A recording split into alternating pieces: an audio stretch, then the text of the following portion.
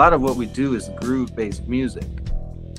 And just on a micro level, on a smaller level, groove is about flow, you know, the way that things feel going from one into the next. And if we expand that outwards, we can do that over the course of an hour long performance. And we can, the groove will change, but the flow stays steady.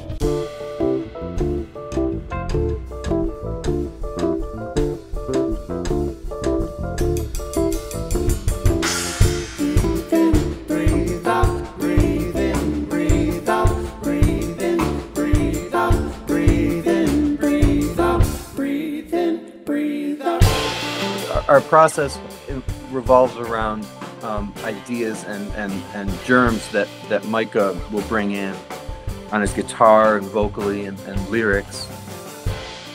But kind of once that hits the ground, we're, we're all getting in on, on how to frame it and how to arrange it and how to add to it, um, coming up with different ideas. And I think, you know, a couple of us in the, in the group, myself and, and our drummer Tyler, Tyler Hawes, come from a classical background. And, you know, so we, we're, we're so used to seeing composers work by themselves.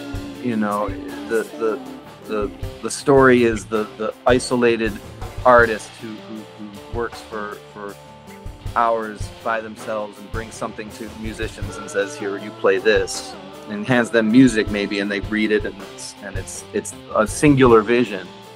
But i think it's been it's been absolutely wonderful to be working collaboratively on a compositional process with with other musicians. I think it's something that that we don't do enough particularly in the classical world or even even maybe in the in the jazz world kind of my background.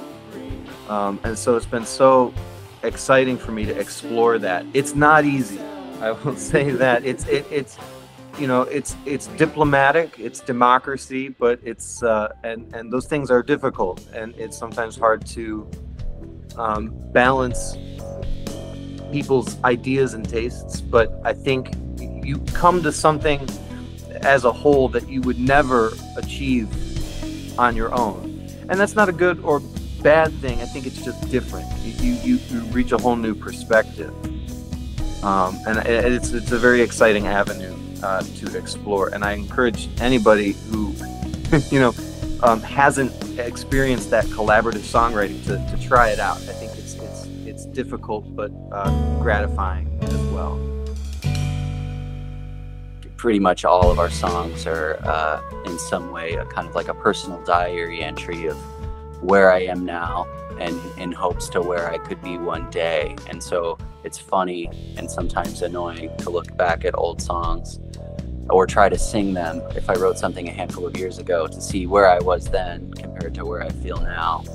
Um, can be interesting to watch my own growth as a human documented in my lyrics.